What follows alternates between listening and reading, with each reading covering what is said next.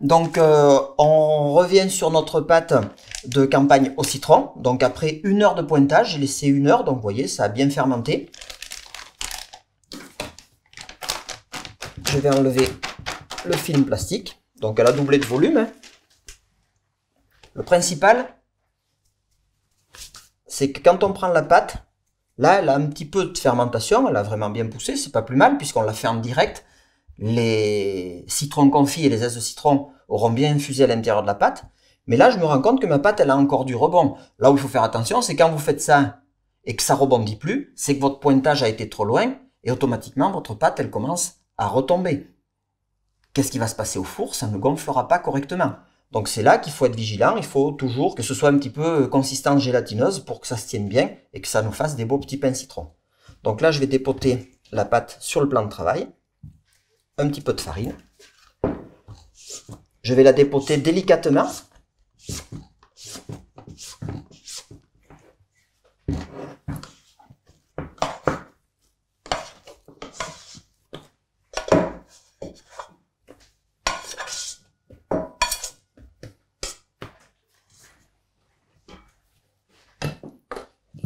Voilà. Et là, je vais faire un petit rectangle de pâte.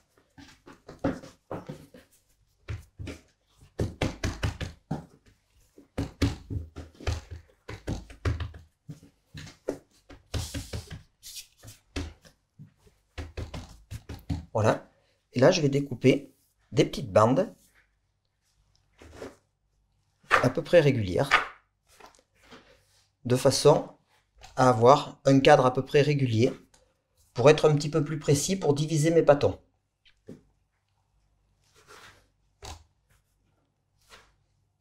Donc là, je vais peser des petits pains citron à 80 grammes. Alors bien sûr, rien ne vous empêche de faire des petits pains au citron euh, de différents poids, bien sûr.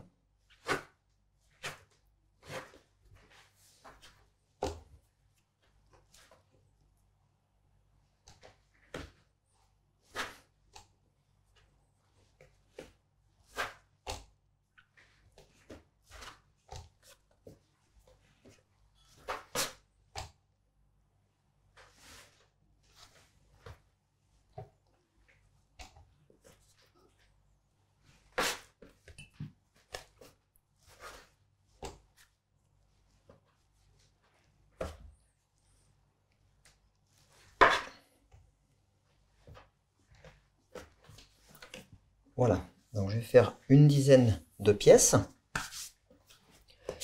Donc là, on va les bouler. Alors pour les bouler, on peut faire comme ça. Je rabats les angles de mon bâton au centre pour faire une petite clé. Et je vais bouler tout simplement la clé dessous. Hein, pour donner un petit peu de force au bâton. Alors, la clé, je suis en train de former la clé. Donc pour faire un bon boulage, je rabats les bords de, mes de mon au centre. Ça, ça s'appelle euh, la clé de mon bâton. Je vais la bouler en la laissant dessous pour pouvoir donner une forme lisse à mon bâton. Et la clé, bien sûr, la partie qui est pas belle, elle sera dessous. C'est pour bien maintenir mon bâton fermé de façon à ce qu'il garde la force. Si je veux que mon bâton, que je sens que mon bâton a trop de force, éventuellement, je peux laisser mon bâton à l'envers, la clé dessus, ça s'appelle tourne à gris, et là, du coup, la clé va s'ouvrir et il va se redétendre, mon bâton.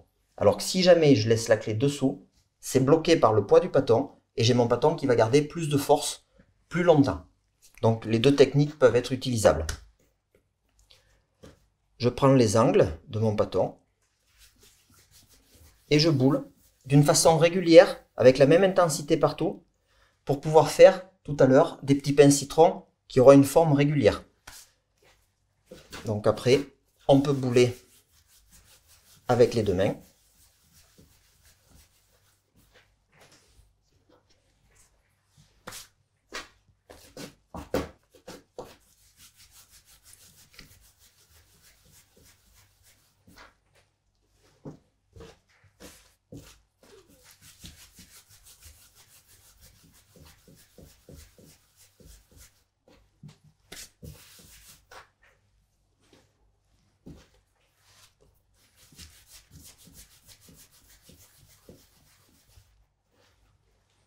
Voilà. Le pointage a été terminé. Je viens de passer à l'étape de la division.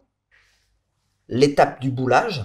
Et maintenant que j'ai donné beaucoup de force à ma pâte, je vais la laisser détendre pendant 15 à 30 minutes environ, suivant l'intensité que j'ai donnée à mon boulage. Plus je vais insister, plus je vais donner de la force à la pâte, plus ma détente va durer longtemps derrière. Donc là, vous comptez entre 15 et 30 minutes. Et dans 30 minutes, on façonnera le boulage.